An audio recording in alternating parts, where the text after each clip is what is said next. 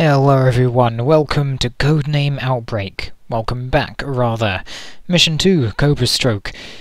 All this text is taking away my frames per second. Ah. Oh, this takes place in Oregon, does it? Military Medical Research Center.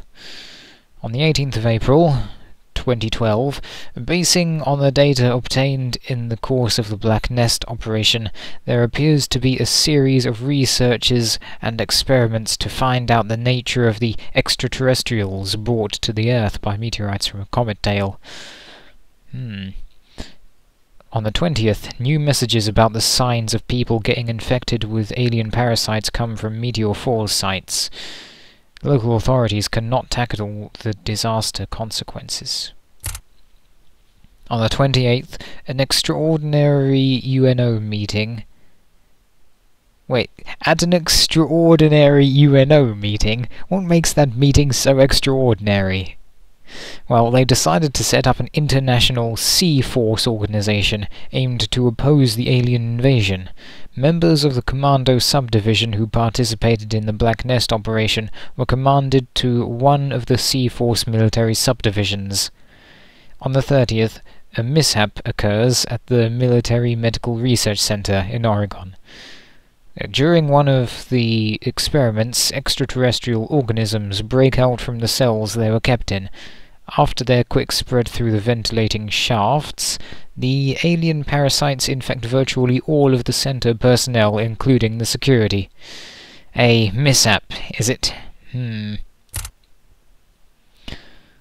Two entrances to the base, as you see. Well, medical facility. The center is located deep in the island. Unfortunately, before more experiments started, the security system was enforced with a marine subdivision and a tank. Evidently, they all have been captured, while none of them radioed. By the way, I'd like to play this, play this on easy, because it is much, much, much harder than the first mission. New armament. In addition to the existing Universal M36 rifle, the Sea Force Armory has been supplied with Universal Assault Rifles M38 and M38R.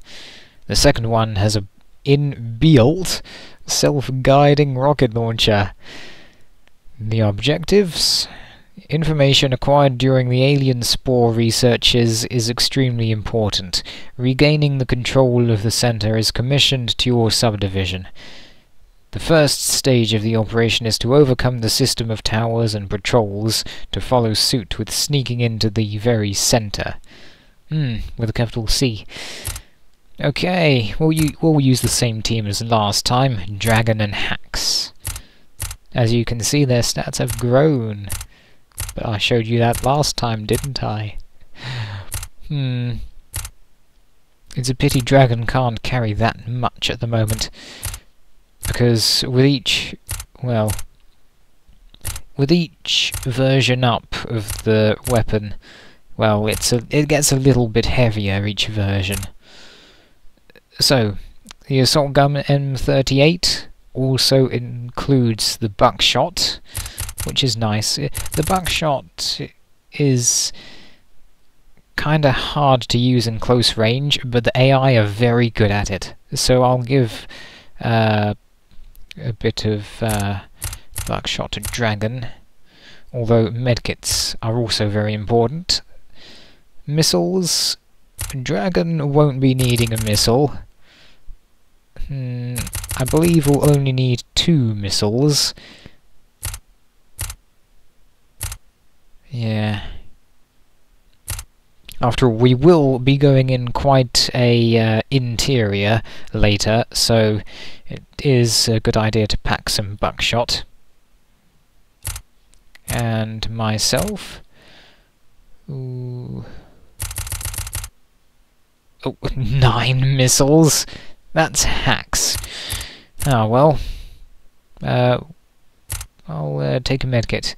Uh, we we really won't need nine missiles, maybe eight, just to make things a bit easier for us. I'm not going to pack too much buckshot. Just a couple of uh, boxes. Uh. Uh, the enemy will have plenty of ammunition of their own.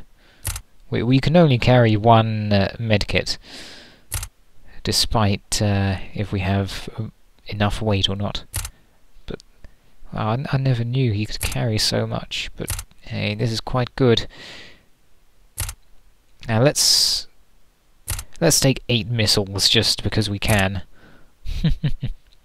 we will be meeting a tank, just like the uh, briefing said.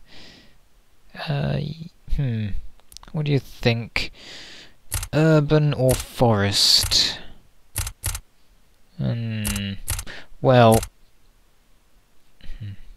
Yeah. Uh, I think urban shall do it. We'll just save first.